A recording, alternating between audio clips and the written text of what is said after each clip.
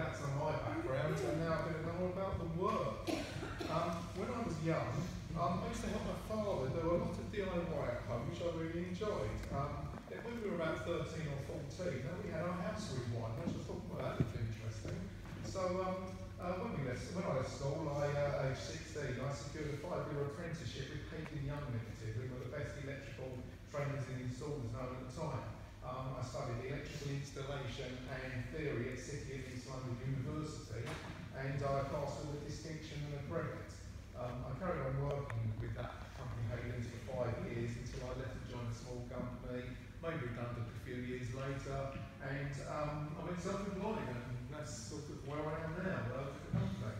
Um, ElectriAll Limited was formed about 16 years ago now with a friend um, who since had to retire through ill health. Uh, but my current uh, partner, no pun intended there, uh, Jeff, it's the best picture I could find of him, sorry. Um, um, uh, so he's been with us, and he's been, uh, well, I've known him 28 years, and he's been with us now for a long time. Uh, so Jeff, together with uh, Reese and uh, Paul, i- and later, lastly, our new guy Neil, which I didn't have a picture of, so uh, haven't got it. With that together, that's us. So um, we on the bigger contract. You always find one of us there um, on.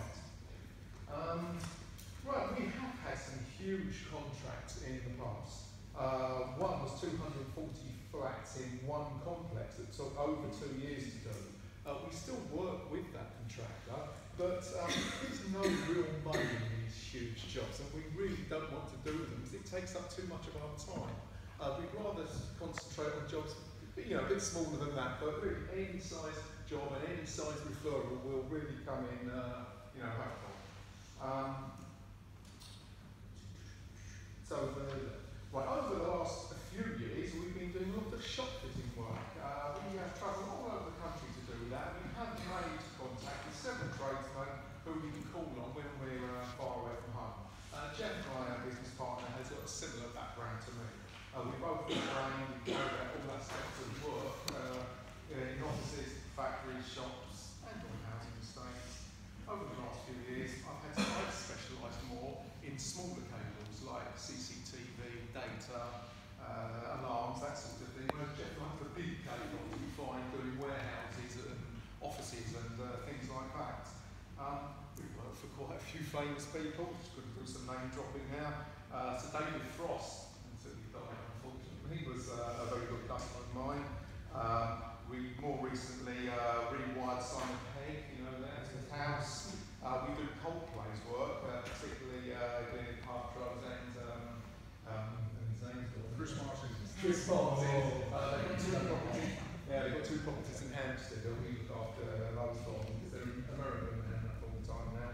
Can I come Um, to work with you, please?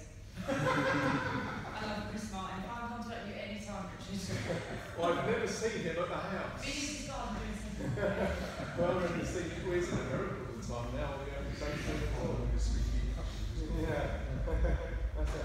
Um, here's a few of the bigger companies that we've uh, worked for. Um, you might know some of the names, some of them you might not. But these are people that we currently do work for, you know, uh, at the moment. Um, now, the electrical regulations change all the time. I mean, this is the latest uh, version of the book uh, that um, you know, some of them I have to uh, study this, and some of them I have closed book exams where I have to know all of that. Um, earlier this year, I went back to college uh, to have to get a book. So what have I done here? Just keep talking. Just keep talking. Um, uh, look, look, look, look. Lost myself there, sorry.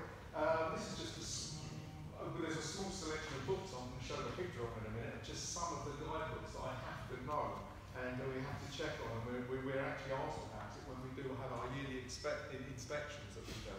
Um, we are NIC, EIC registered, um, and that is the National Inspection Council for Electrical Installation and Contracting.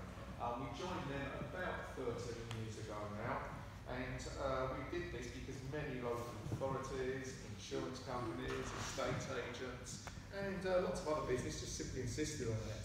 Uh, don't know that the law changed about 30, about 11 years ago now, similar rules to the gas safe. where for domestic work you do have to be registered, there is actually a £10,000 fine for not being registered. Um, unfortunately, it's a bit of an unenforceable law, really, and most people still carry on without it. Um, now, some of our things. Oh, no, you broke it. I've broken it. broken it. Is there anything there? No? We'll see. You might get it at one. Can you, do you need the slides? No, no, no. Um, right, some of our fees. Um, we uh, charge, um, it's a bit difficult to you know, give set fees, but we charge about £180 in starting price to carry out an inspection and issue a report. This normally takes a minimum of half a day. On call-outs, well, we have to say really it's about eighty pound for a call out, but we do do some cheaper, some are a lot more, and uh, we've been known to do it for free. You know, when we turned up the old lady and all it needed was a, a circuit breaker resetting, we've never charged anything at all.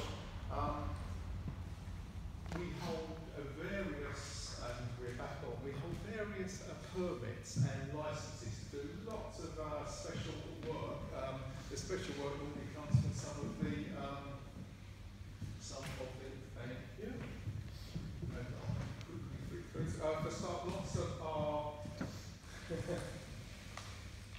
uh, lots of our commercial work. We have to have a lot of these permits now.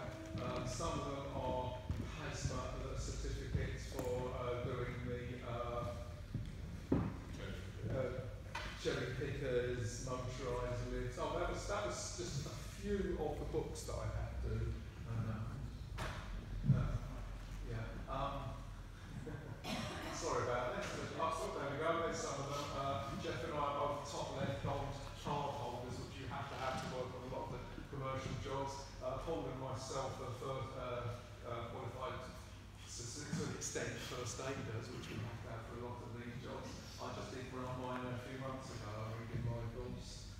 Um, um, now this is the bit where I'll show you all the boring pictures of fuse boxes and things like that. now, out of interest for you, this is a old. These are old fuse boxes. The one on the right, some of you might have in your house. The one on the left is the modern equivalent, which is called a consumer unit. I don't know why they gave it such a silly name. Everyone asks me, what the hell is a consumer unit? Well, that is what it is, and it replaced those. So, you know, simple as that. Well, you know, throw that away. Um, this is just an uh, odd job. We do a lot of work for Temple. Uh, this was actually on the A12 Blackwall Tunnel approach road, actually on the road. It was closed at the beginning of the year. Uh, that's down to us. uh, no, it wasn't really. No, the first automated. This was us rigging up generators for all the road, uh, out on the road. Uh, I think there's six of us there. Uh, you can see that. Oops. I don't know if you can see this one properly. I mentioned it before. That's mouse damage. That's damage on cables. I don't know if you can see the bare copper. In that case, you know, it would have sat there, but that can cause a lot of house fires, something like that. And we that is very common. We see that all the time. Uh, that's on the floorboard.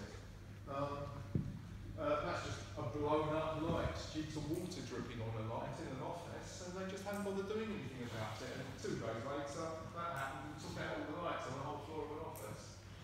Um, that was an extractor fan in someone's bathroom uh, that caught fire. The whole of the scene is where the fire brigade smashed it to check the flames and there was nothing above. Um, common thing, check everybody, check their extract fans at home. You don't get this brown mark on the top of them because I see it a lot. It's where the capacitor overheating and it, it, that's the worst scenario that can happen. Uh, pictures of blown up lights. I'm running out of time now. Um, and those, those are mainly because this typical picture, this woman had three uh, heaters plugged into one of those four-way extension leads. Because of the slow power, it, it can't heat them. Um, another one why doesn't my fridge work? Here's what I found. Uh, why can't I pick anything up on my satellite dish? Wrong, I think you can all see why. Um, here's an interesting one. I had to highlight the Ten Commandments in the synagogue. Uh, that was a TARDIS we had built for a kids' playroom in the house that all lit up, and it was actually a farm to the floor below. you can see the, uh, the way down also, you don't want to use that on the left there. Uh, that was quite an interesting job that one.